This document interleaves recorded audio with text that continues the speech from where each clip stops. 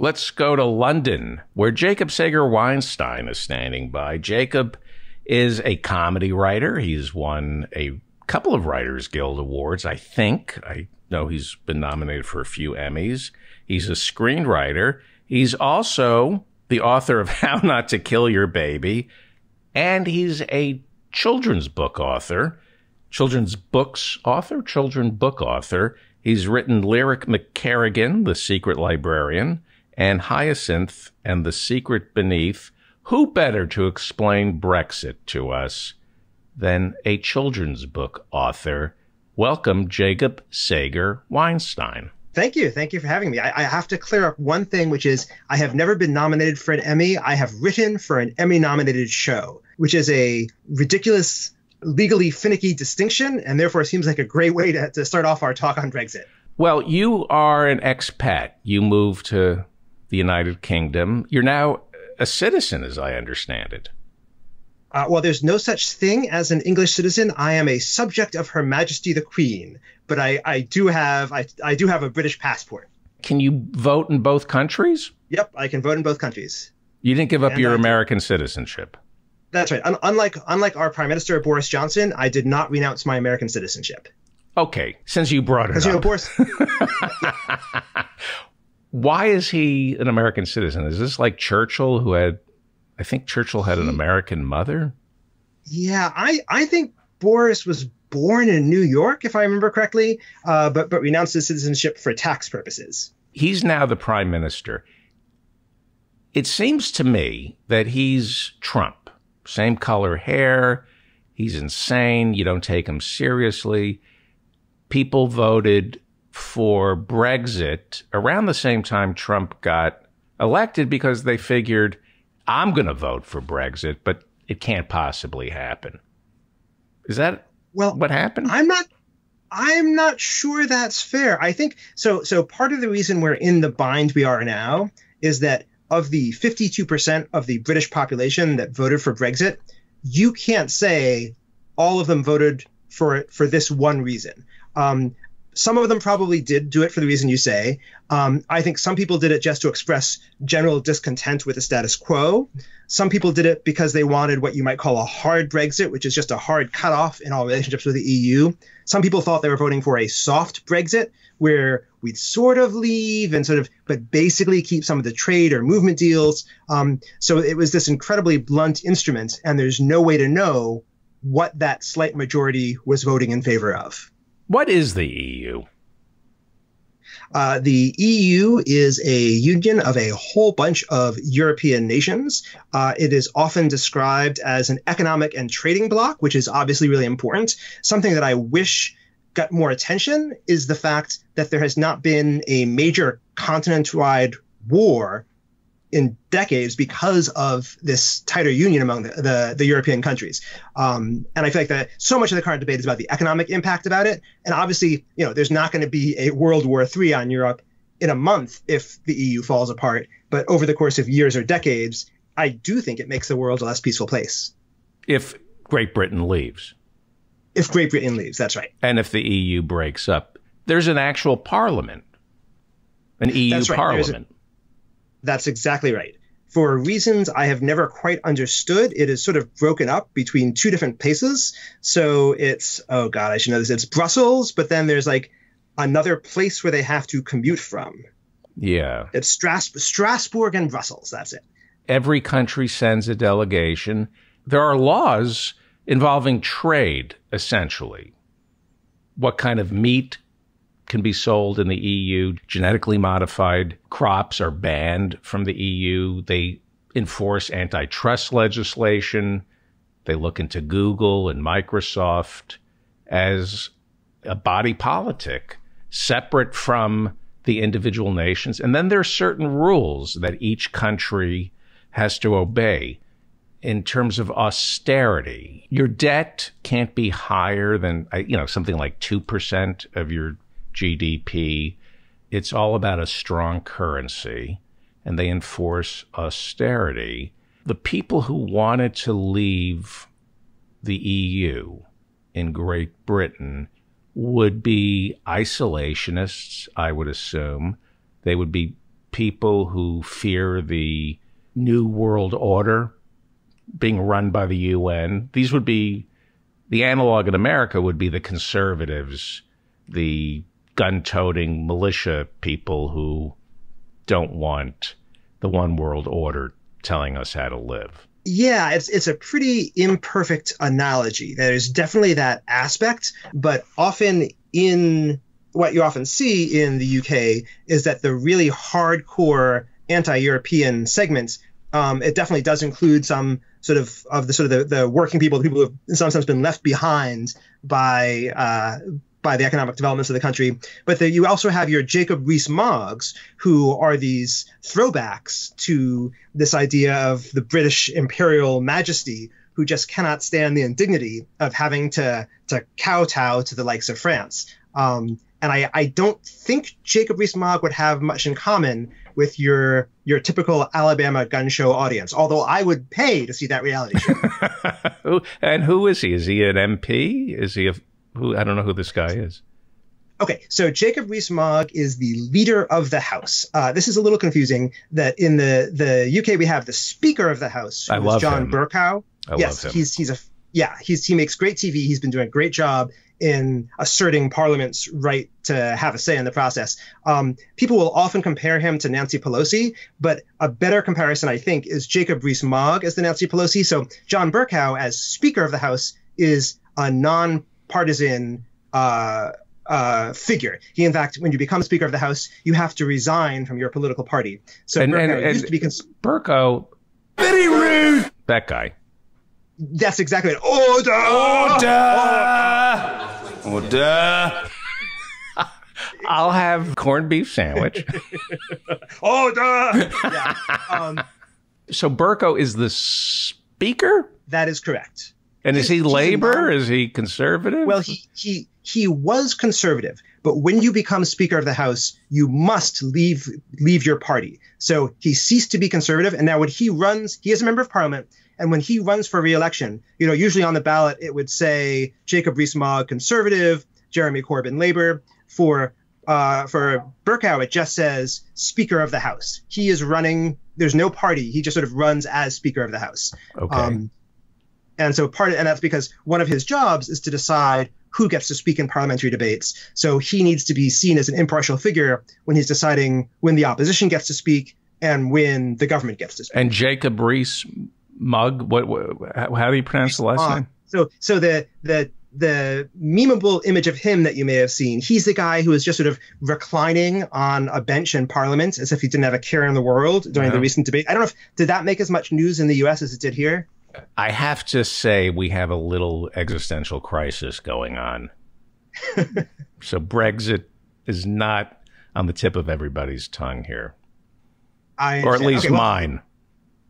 I I understand. Well, if you so Jacob Rees-Mogg, he is his official title is uh, he is the gentleman for Northeast Somerset, I believe, because that's the the he recommends. That's the district you'd say in America that he represents. Um, he is sometimes called the Honorable Gentleman for the 18th Century because he represents this incredibly upper class, out of date uh, image uh, of Britain. But he is the he is the leader of the House, meaning basically he is a political figure that because the Tories control the government, he is sort of the senior or the, senior. Tory authority in the House. I so see. he is sort of the Nancy Pelosi more than Bercow is. I see, I see. And Theresa May was the prime minister. She had to step down, and Correct. about 250,000 members of the Conservative Party voted for Boris Johnson to replace her.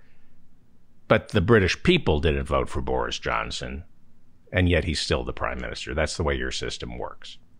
That's exactly right. And and it's you know there's there's pluses and minuses, um, but you know clearly uh, there's just a real disadvantage to the system, which is that the the British system has resulted in this sort of spoiled, incompetent, floppy-haired scion of privilege who's failed upwards his entire life, exercising authoritarian power. And thank God that could never happen in the United States. Well, what is coming up here? Because from my side of the toilet, we call it the toilet, you call it the pond. Uh, there's a hard Brexit coming up, right? But there's also going to be yes. an election for prime minister. Well, well, we're in this weird situation. Okay, so so let me deal with that piece by piece. So so right now, um, Britain's deadline for leaving the EU is October 31st, or as we say here, 31st October. Um, hmm. So um, if nothing happens, right, right now there's no deal to describe what happens when we leave the EU. So in the absence of any other action, Britain ceases to be a member of the European Union uh, on October 31st and we have no treaties in place. We have no agreement as to how to, we're going to handle the borders, nothing to determine how medicine, food supplies, little things like that are going to make their way from our major trading partners in the European Union onto British shores. Okay, when um, you say borders, the only border we're talking about is Northern Ireland and Ireland. Well, that's that's the land border, but there is there you know there is a a water border. You know, things have to come from somewhere. So so there's the border uh, uh between there's the ship there's your shipping at Dover and other ports as well. Okay. Okay, so if you just leave things the way they are and yes. nobody does anything. Yes. You leave the EU when? October 31st. And I, I, believe at midnight on October 31st, so I believe November 1st would be the first day out of the EU. And do you really believe that once we leave, everything changes? Once we leave, once you leave? well, I thank you for your just your solidarity um, on behalf of the American people. Um, so you um, leave. Yeah.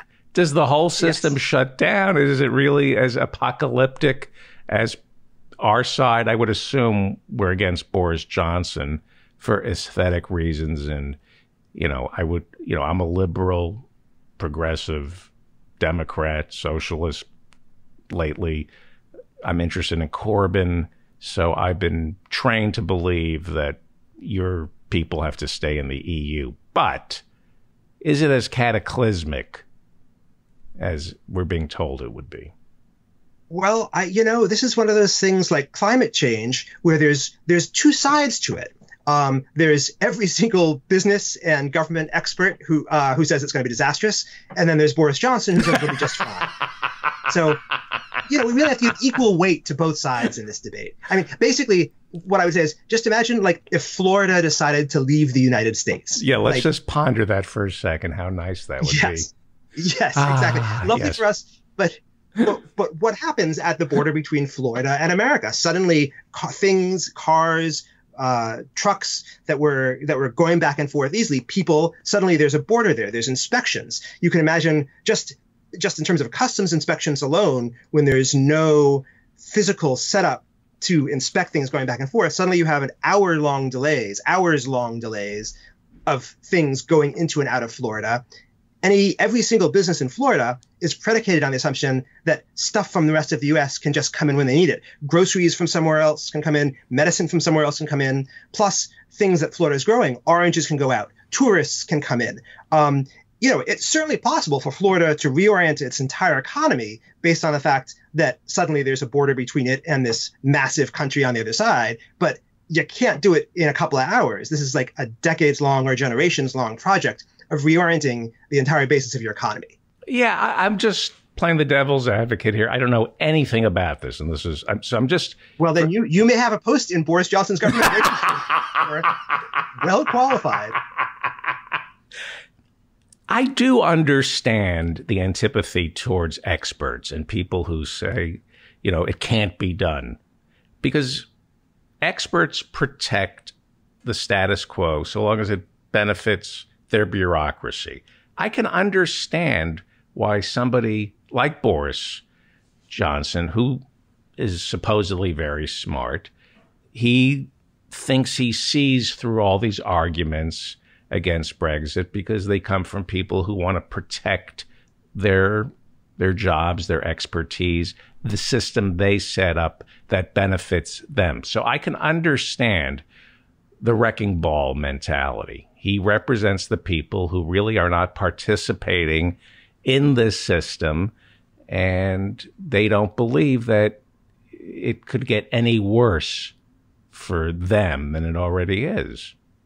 Well, I, you know, I think that wielding a wrecking ball is a lot more attractive when when you are sitting in the in the carriage of the wrecking ball machine. I started yeah. that sentence and realized I don't know what you actually call the wrecking ball thing. um, uh, that that you know Boris Johnson is going to be fine. He is incredibly wealthy. He's got I'm sure he's got money stashed all around the world. Um, Jacob Rees-Mogg, who I mentioned, who is an arch Brexiter, who's the leader of the House, um, he has an investment company and his investment company actually relocated to Ireland after the referendum to Im- to immunize itself from the Brexit shocks. So he's fine too. Well, I think he's actually sold off that particular company. But all these guys are either going to be fine or will possibly make a profit from it. Yeah. Um, but it's a lot less. You know, if if you have cancer and you have medication that you can't stockpile because it doesn't last that long, it is totally possible that on November 1st, November 2nd, November 3rd, you will still be getting that uh, when you need it. But it's also possible you might not. And so the question is, why would you take that gamble? You would never take that gamble with your own life. The prime minister should not be taking that gamble with the lives of the people that he is supposed to serve, but he is. What is the upside? What is the upside? Give me the argument for Brexit. Well, the the argument for you know, it's too bad a podcast is not a, me- uh, a visual medium because you could see, then you could see like the gritted teeth which I'm trying to force this pro Brexit. Well, you, do you have any friends who are? Do you have any friends who are for it? Um, so I, I have the here's the argument for it. I've, I've met somebody who is very pro free market, um, who does not like. You mentioned some of the restrictions that. So so the right wing pro Brexit argument is that the European Union puts these restrictions on trade. It eliminates, it, it makes it much harder to bring in genetically modified uh, ingredients. It does all these things that makes it hard for trade. Um, therefore, a free market is better for the world. Therefore, let's get rid of the EU and we can sign our own trade deals and have a free market um, with countries that will not put these restrictions. The the left wing Brexit one is a flip side of what you mentioned, which is well, the common currency uh, that that Britain does not subscribe to, but the rest of the EU does, uh, or most of the well, the eurozone does. Um, that that puts that enforces uh, economic austerity, as you mentioned. That that you want to be free to set your own economic and fiscal policy, and you can't do that when you are within the EU. Um, what I would say to all of that is that is that being part of the EU is this incredibly complicated multi-party deal, not just a trade deal, but legal deal, uh, uh, freedom of movement deal, and any deal you make, the way a deal works is you give up some things to get some things. Um, so I think that the the pro Brexit argument is that no matter how good the things we've gotten out of the EU are, they're not worth the things we give up. And I passionately disagree with that, but but that's the most coherent pro Brexit argument that I could give you. Yeah, and I can see how you believe that staying in the EU provides jobs for all the lawyers and diplomats who come out of Cambridge and Oxford, a resentment towards the technocrats, the well educated, posh, pampered white people who dictate to ordinary people how they should conduct their business. I can understand the resentment towards the EU because the people who seem to be pushing it remind me of the Clintons and the Blairs and the Obamas and the yes, Bidens. this is why we need we need the defender of that that that defender of the common man, Alexander Boris de Pfeffel Johnson. Yeah, yeah, him yeah. and his his hearty band of of working men from Oxford and Eton are going to ride to the rescue of us common folk. And Jeremy Corbyn, who's the leader of the Labour Party. Yes. Is he against Brexit? Well, he's and he certainly has been against the Tory version of Brexit. Um, he has been rather vague on Labour's official position on Brexit, and there's a couple of explanations for it. Well, that's but One this is it, important because he is could be the next prime minister, right? He could be. He could be, and he has been very careful. His his opinions. Why, why is he careful? Because of populism. He represents the working man, and maybe the working well, man is on the fence when it comes to Brexit. Well, but so so okay. So any poll of Labour's membership shows labor has generally been pro Remain. Um, so so he's he's actually against his own membership in that. So I think there's a couple of explanations as to why he's been so vague. One is he is often suspected of being a Lexiter, meaning a left-wing supporter of Brexit, for sort of those reasons I mentioned. Um, he has been, like I say, vague on it, so it's hard to know. But it's, it's called a Lexiter. Well, yeah, Leg- Lexit is the left-wing Brexit. Okay. Um. So, but he's been he's been a, a but he's the, so that's where populism meets both ends of the political spectrum. That's like Bernie and Donald Trump are both populists yeah. in many ways, but they're representing two distinctly different political ideologies, but they're still sort of populists.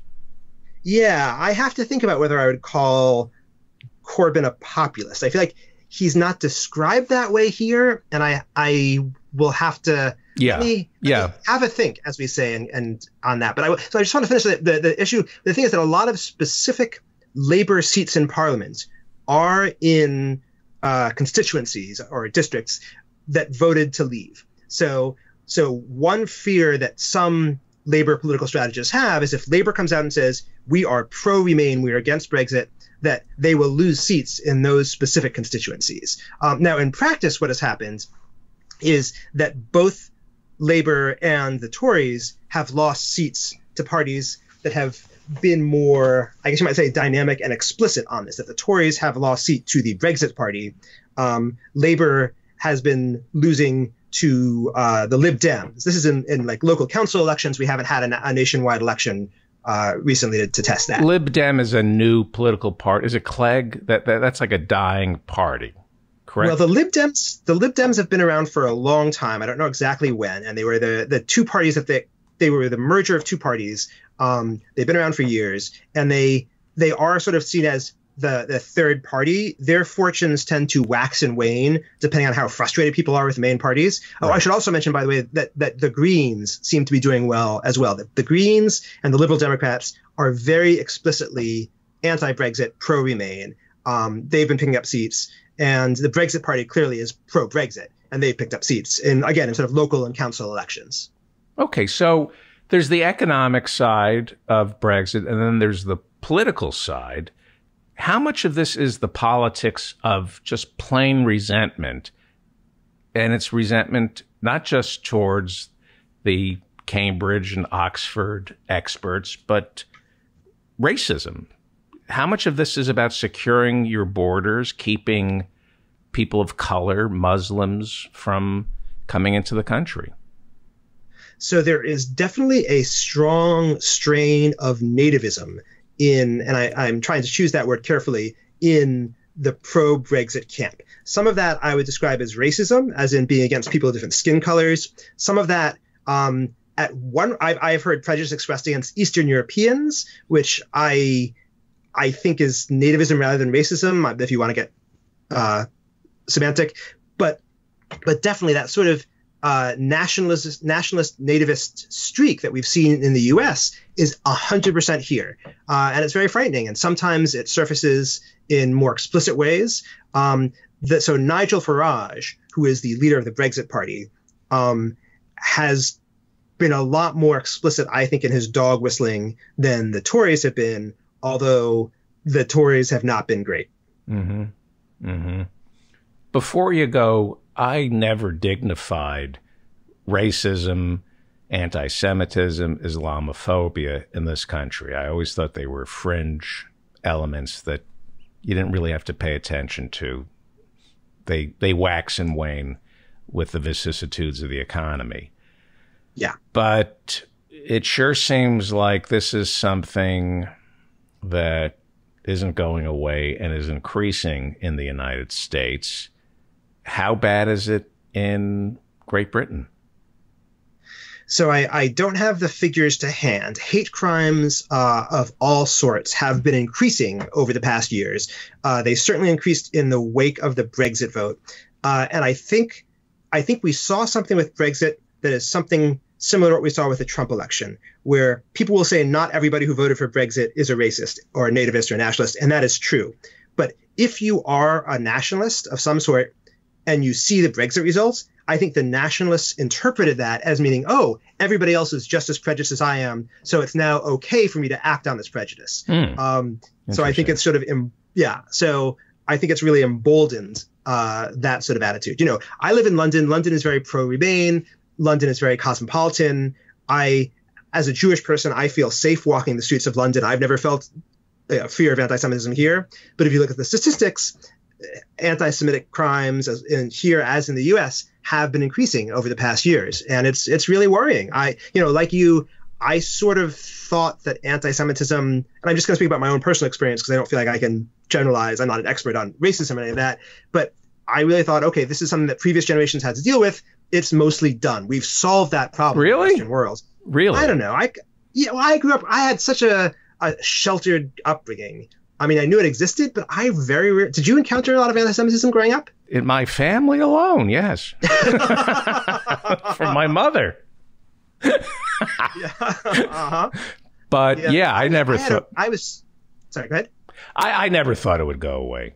Never, because it's always been there and it's human nature.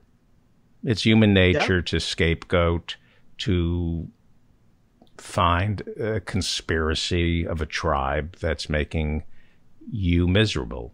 People, by their own DNA, will never take responsibility for their government and their own sloth, and they need to blame black people, Mexicans, Jews.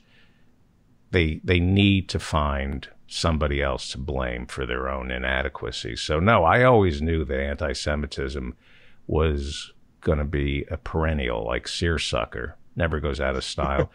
I was shocked by the racism towards African Americans.